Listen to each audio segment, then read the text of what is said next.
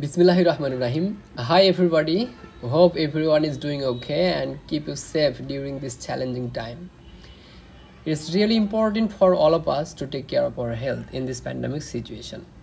তো my dear friends তোমরা অনেকেই আমাকে বলেছ যে স্যার জারণ সংখ্যা নির্ণয় সম্পর্কিত একটি ভিডিও যেন আমি আপলোড করি তো এই কারণেই তোমাদের মাঝে আজকে জারণ সংখ্যা নির্ণয় সম্পর্কিত শর্ট টেকনিক নিয়ে আমি উপস্থিত হয়েছি এবং আমাদের আজকের topic basics of oxidation number for class nine to twelve অর্থাৎ নাইন থেকে দ্বাদশ শ্রেণি পর্যন্ত আমাদের এই লেকচারটি কাজে লাগবে।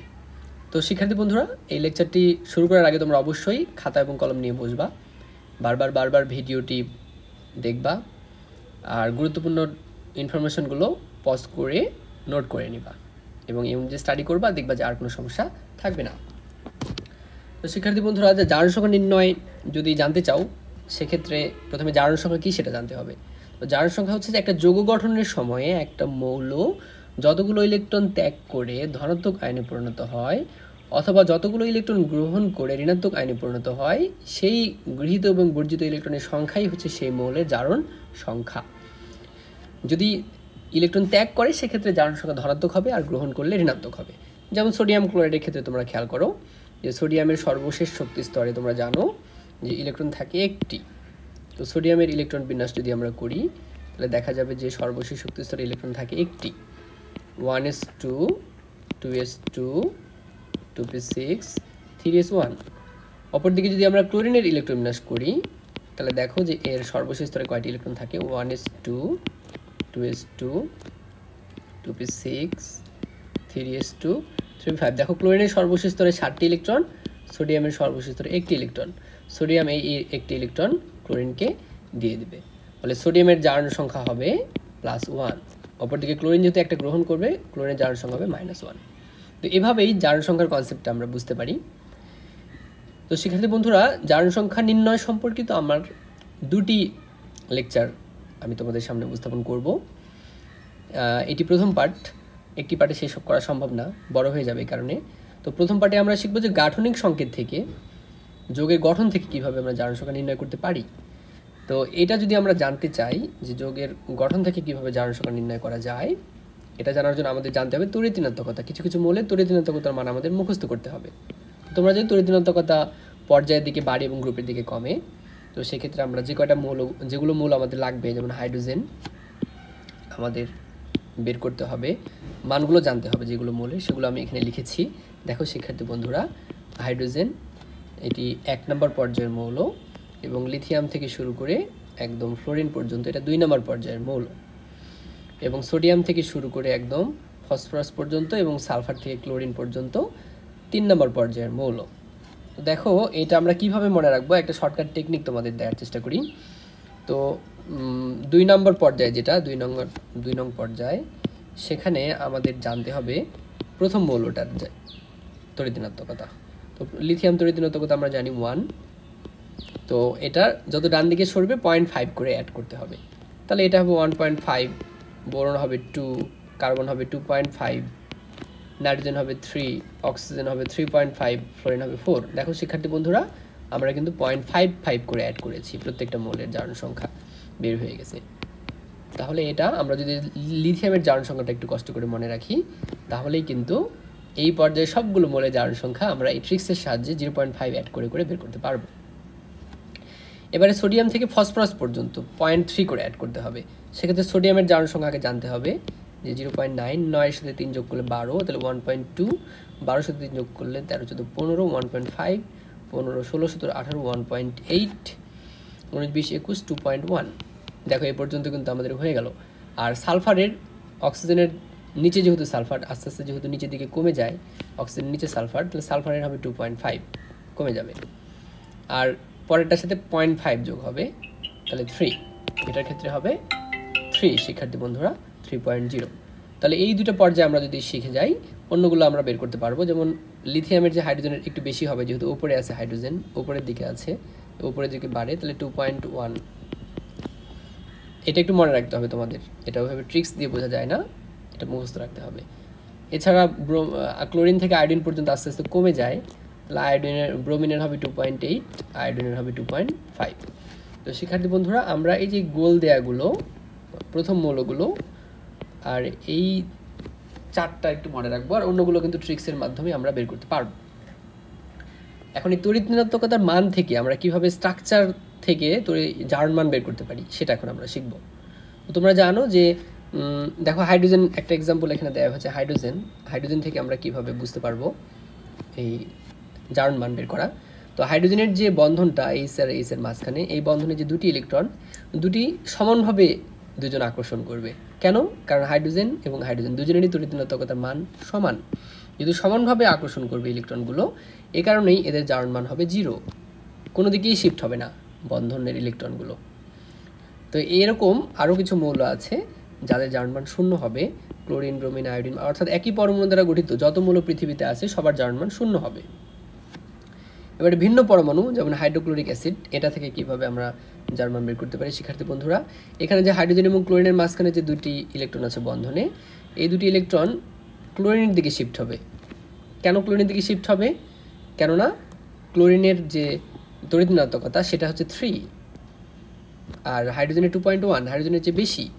আর যেহেতু ক্লোরিনের নিজের একটা ইলেকট্রন আছে এখানে, আর হাইড্রোজেনের একটা ইলেকট্রন। হাইড্রোজেনের একটা ইলেকট্রন যেহেতু ক্লোরিনের দিকে শিফট হবে, এই কারণে ক্লোরিনের জার্ন মান হবে মাইনাস একটা ইলেকট্রন শিফট হলে এক মাইনাস হবে, আর দুইটা ইলেকট্রন হলে দুইটা মাইনাস হবে, এরকম। তাহলে হাইড্রোজেনের জার্ন মান কিন্তু হবে প্লাস ওয়ান তো শিক্ষার্থী বন্ধুরা, দেখো কীভাবে স্ট্রাকচার থেকে আমরা বের করতে পারি জার্ন মান পানির ক্ষেত্রে দেখো এবার, পানি এইচ টু ও পানির ক্ষেত্রে কীভাবে আমরা বের করব?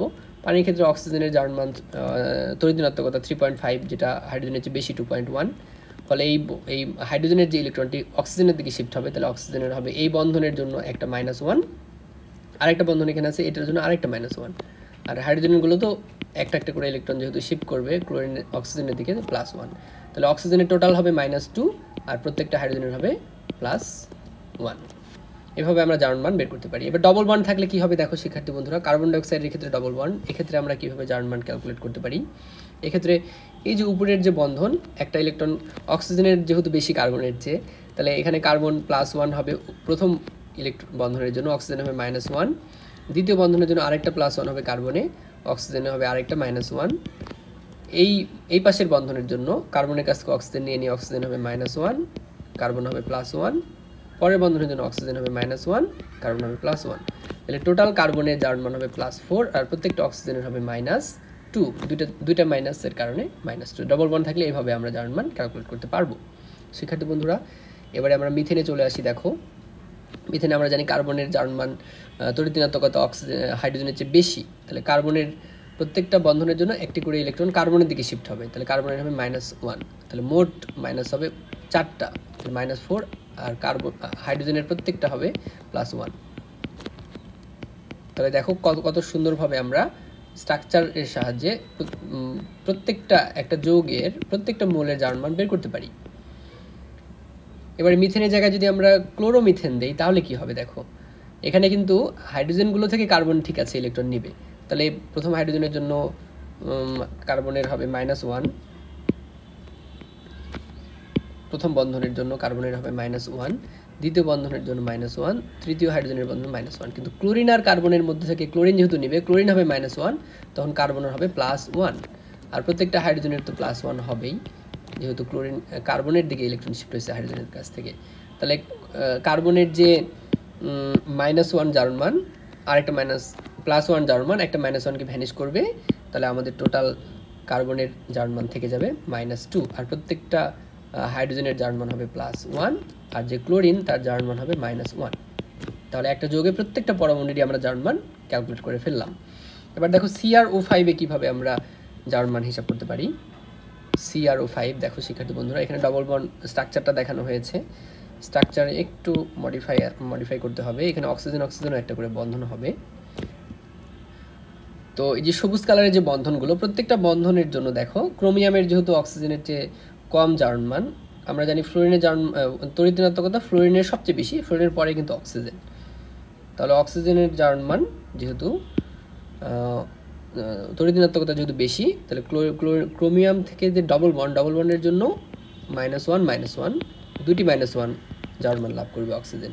আর এই ক্রোমিয়াম থেকে, ক্রোমিয়াম তাহলে ওই মাইনাস ওয়ানগুলোর অপোজিটে একটা করে প্লাস ওয়ান জার্মান লাভ করবে। এই ক্রোমিয়াম অক্সিজেনের জন্য অক্সিজেন মাইনাস ওয়ান জার্মান লাভ করবে আর ক্রোমিয়াম প্লাস ওয়ান জার্মান লাভ করবে। এই পাশেরটার জন্য oxygen minus one chromium plus one এটার জন্য oxygen minus one chromium plus one এটার জন্য oxygen minus one chromium plus one আর এই যে লাল কালারের যে বন্ধন, এই বন্ধনের জন্য কিন্তু কোনো জার্মান অক্সিজেন লাভ করবে না। কেন লাভ করবে না? কেননা এখানে তো দুজনেরই তরিতনাত্মকতার মান সমান। কেউ কাউকে ইলেকট্রন টানতে দিবে না। তাহলে টোটাল ক্রোমিয়ামের জার্মান আমাদের দাঁড়াবে প্লাস সিক্স গুণে দেখো ছয়টা প্লাস আছে। আর প্রত্যেকটা অক্সিজেনের জার্মান হবে মাইনাস ওয়ান তাহলে শিক্ষার্থী বন্ধুরা, দেখো স্ট্রাকচার থেকে কিন্তু আমরা জার্মানগুলো হিসাব করে ফেলছি। এবারে দেখো আরেকটা আরেকটা যৌগ আমরা এনে কাজ করব, যে এইচ ও টু এফ এটা থেকে আমরা কীভাবে বের করতে পারি? আমরা স্ট্রাকচারটা লিখলাম। লেখার পরে দেখো শিক্ষার্থী বন্ধুরা ও এইচ যে বন্ড অক্সিজেনের কাছে ইলেকট্রন শিফট করবে এবং ও এফ বন্ড ফ্লোরিনের কাছে ইলেকট্রন শিফট করবে। আর ও ও যে বন্ডটা মাঝখানে, সেটার জন্য কিন্তু কোনো ইলেকট্রন কোনো দিকে শিফট হবে না। তাহলে হাইড্রোজেন আর অক্সিজেনের যে বন্ধন, এখানের জন্য হাইড্রোজেন প্লাস ওয়ান হয়ে যাবে অক্সিজেন হবে মাইনাস ওয়ান আর ও আর এফ এর জন্য ফ্লোরিন হবে মাইনাস ওয়ান অক্সিজেন হবে কিন্তু প্লাস ওয়ান আর মাঝখানের যে বন্ধনটা, এই বন্ধনের জন্য জিগজ্যাগ করে দিলাম যেটাকে আমি, এই বন্ধনের জন্য কোনো অক্সিজেনই কোনো জার্মান লাভ করবে না। তাহলে ফাইনালি আমরা ফ্লোরিনের জার্মান দেখব মাইনাস ওয়ান অক্সিজেনের মাইনাস ওয়ানও থাকবে আবার প্লাস ওয়ানও থাকবে। দুই ধরনের জার্মানি থাকবে। এবং হাইড্রোজেনের তো সবসময়ই এখানে প্লাস ওয়ানই হবে। শিক্ষার্থী বন্ধুরা, দেখো, আমরা কিন্তু জার্মানগুলো শিখে ফেলছি। খুবই সহজে স্ট্রাকচার থেকে। আর স্ট্রাকচারগুলো তো আমাদের জানতেই হবে পরবর্তী বিভিন্ন প্রশ্নের জন্য। O O two F two এটা কীভাবে হবে দেখো। এখানে এই যে অক্সিজেন ফ্লোরিনের বন্ধনের মধ্যে এই পাশেও অক্সিজেন ফ্লোরিন বন্ধন থাকবে। এই বন্ধনে ইলেকট্রন শিফট হবে কোন দিকে? ফ্লোরিনের দিকে। কারণ ফ্লোরিনের জার্ন তরিতনাত্মকতা ফোর। অক্সিজেনের থ্রি পয়েন্ট ফাইভ তাহলে অবশ্যই অক্সিজেন যে ফ্লোরিন তরিতনাত্মকতা বেশি হওয়ার কারণে ইলেকট্রন অক্সিজেন ইলেকট্রন যে বন্ধনটা, অক্সিজেন ফ্লোরিন, সেটা ফ্লোরিনের দিকে শিফট হবে। ফ্লোরিন তাহলে মাইনাস ওয়ান জার্মান লাভ করবে। অক্সিজেন ফ্লোরিন মাইনাস ওয়ান জার্মান লাভ করবে। অক্সিজেন প্লাস ওয়ান জার্মান লাভ করবে। এই পাশের জন্য fluorine minus one oxygen plus one কিন্তু অক্সিজেন অক্সিজেন বন্ধনের জন্য কেউ কোনো জার্মান লাভ করবে না। দুজনের দরিদ্রতা কথা সমান। তাহলে ফাইনালি ফ্লোরিন এখানে মাইনাস ওয়ান জার্মান লাভ করবে প্রত্যেকটা ফ্লোরিন আর প্রত্যেকটা অক্সিজেন এখানে প্লাস ওয়ান জার্মান লাভ করবে। শিক্ষার্থী বন্ধুরা, আমরা পরবর্তী উদাহরণে চলে যাই। দেখো ওএফ টু এটাতে কীভাবে আমরা ক্যালকুলেট করতে পারি? এখানেও দেখো মানগুলো লিখে দিয়েছি আমি। ফ্লোরিনের ফোর অক্সিজেনের কাছ থেকে ফ্লোরিন নেবে মাইনাস ওয়ান এই ক্ষেত্রেও অক্সিজেনের কাছ থেকে ফ্লোরিনই নেবে ইলেকট্রন। তাহলে যদি নেয়, তাহলে ফ্লোরিন মাইনাস ওয়ান হবে। তাহলে এই বন্ধনের জন্য অক্সিজেন একটা প্লাস ওয়ান জার্মান লাভ করবে। ওই পাশের বন্ধনের জন্য আরেকটা প্লাস ওয়ান জার্মান লাভ করবে। অর্থাৎ অক্সিজেনের টোটাল জার্মান হবে প্লাস টু, আর প্রত্যেকটা অক্সিজেনের হবে মাইনাস ওয়ান। তো শিক্ষার্থী বন্ধুরা, এভাবে আমরা খুব সহজে স্ট্রাকচারের সাহায্যে স্ট্রাকচার থেকে যে কোনো মৌলের জার্মান হিসাব করতে পারি, যদি আমাদের তড়িৎ ঋণাত্মকতার মানগুলো জানা থাকে। তো আরও বিভিন্ন উদাহরণ দিয়ে তোমাদের বোঝানো সম্ভব, কিন্তু আসলে উদাহরণ দিতে গেলে আমার লেকচারটা অনেক বড় হয়ে যাবে, কারণ আমরা আমাদের লেকচারের সেকেন্ড পার্টটা আছে বাকি, যেখানে আমরা সূত্রের সাহায্যে কীভাবে জার্মান বের করতে পারব, বিভিন্ন যৌগ, যৌগমূলক, ধনাত্মক এবং ঋণাত্মক চার্জ যুক্ত যৌগের ক্ষেত্রে, সেটা আমরা সেকেন্ড পার্টে শিখব না হলে আমাদের লেকচারটি বড় হয়ে যাচ্ছে এই কারণে। তো শিক্ষার্থী বন্ধুরা, তোমরা আশা করছি এই লেকচারটি ভালোভাবে যদি দেখো জার্ন সংখ্যা নিয়ে তোমাদের যে সমস্যাগুলো আর থাকবে না, তো তোমরা অবশ্যই খাতায় নোট করে নেবা টপিকগুলো খুব ভালো হবে এবং বারবার বারবার ভিডিও পজ করে করে নোট দেখবা, বুঝবা প্র্যাকটিস করবা। তো বন্ধুরা, ভালো থাকো stay safe wear mask and take care of your health okay good bye Allah